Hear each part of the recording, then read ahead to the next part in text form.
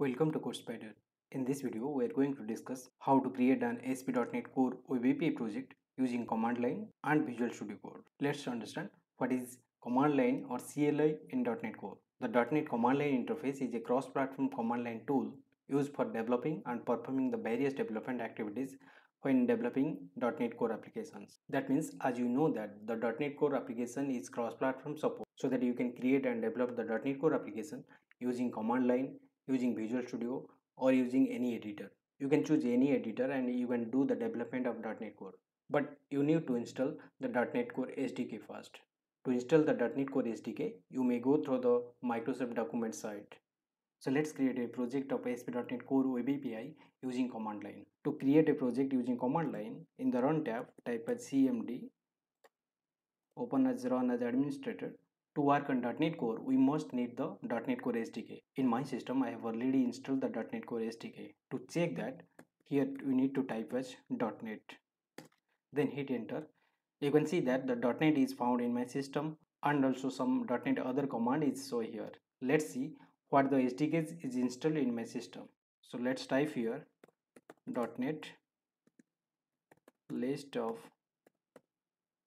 SDKs. You can see that there is four type of SDK is found in my system. One is 2.1, 2.2, 3.1 and the 3.1.400. It's the latest version. Also to check all the command we need to type here .NET then help you can see that whenever I type in the .NET help then then all the .NET Core support command is so here so let's focus how to create a ASP.NET Core API project using command line suppose in this location I want to create my project. Currently I am here on the D drive and on the folder name is .NET CLI and you can see that on the command prompt currently I am on C drive Windows System 32 to move the D drive you just type your D drive.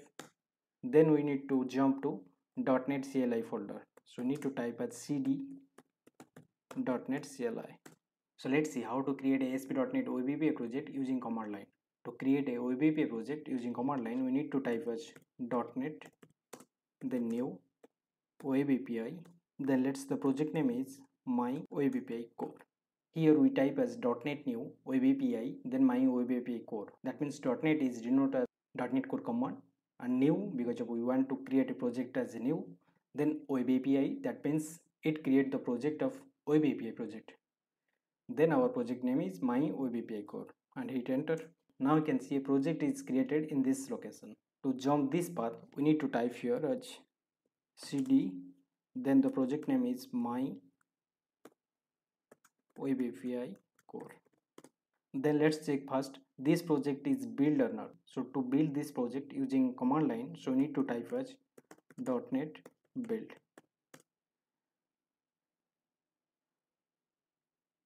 You can see that now the build is succeeded then finally we need to run this project. To run the project we need to type as .NET run. You can see that now the project is running. And mind that whenever the project is running on the command line argument then it should be run in the kestrel server. If you are new to the kestrel server then you please check our previous video. The video is shared on the description box. You can find there. So let's copy this path and run this application. Let's hit enter you can see that in the command prompt we found that the server is listening in this port number. Whenever i type of localhost 5001 then it clearly shows that this localhost page can't be found. This is because in the properties class in the launch setting.json open with a notepad you can see that it called the kestrel server and in the kestrel server the launch url is by default is weather forecast. What is weather forecast? Weather forecast is the controller in the controller the api controller is set and the route should be controller. That means in the localhost 5000 word we should type controller name. So let's type here as weather forecast. Hit enter. You can now see everything is working perfectly for now and the controller get method result is displayed here. So using this way you can create a project using command line argument. Then let's understand how to create a project using visual studio code you can see that from this link you can download. Follow the url code.visualstudio.com for my case i have already installed the visual studio code and in this folder we want to create our project. Open powershell window here and here we need to type as code dot. Code dot is the short code to open the visual studio code. You can now see we are in the VS Code API folder. Go to the View tab and select the terminal window. In the terminal window, you can see that we are on the VS Code API. So here we need to type fetch .NET the new. Let's web API because we want to create as web API then let's my core API that's it. Hit enter.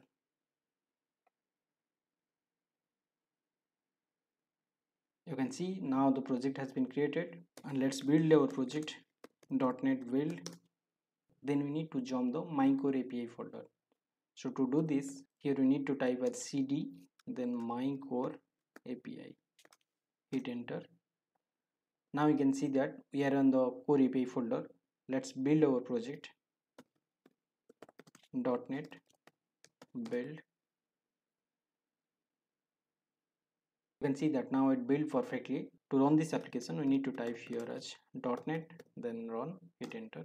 You can see that we are getting error because of unable to start the Kestrel server. And the error is failed to bind the address https 5001 this address already in use. That means whenever I run the application using command line argument then the browser is hit and in the 5001 it's showing as already in use. Change the port number. You can also go through the launch setting.json and simply let's make as 5002 as well as let's make as 5003 here. But I am showing that if this type of error is come then how to get rid of this? So you need to type here .NET build to build the project again and let's run the application with .NET run. You can see that now our port is running on localhost 5002 let's copy this and open the browser. And in the browser window type here 5002 then we need to pass the controller name. Controller is weather forecast. You can see this is working perfectly.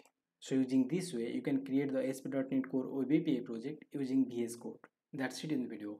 Do like and subscribe for more upcoming videos. Thanks for watching